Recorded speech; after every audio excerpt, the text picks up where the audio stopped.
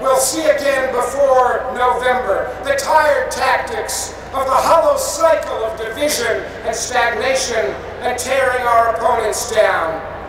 But tonight, my friends, we stand here together, ready to turn away from this old path, ready to break this stale mold. We stand for an American agenda that unites this great country around a common purpose, because it's up to us to make change, to replace corruption with integrity, greed with idealism, indifference with imagination, division with unity, and fear with hope.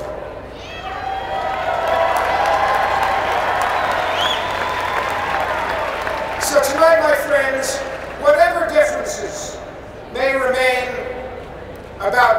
Democrat will lead our great party in this great nation, let us unite in committing to work even harder for the future. Because we stand for real security. We stand for healthy families. We stand for a thriving economy with opportunity for all, not just a few at the top. And we stand for a sustainable future for our planet. And so tonight I ask you, will stand together?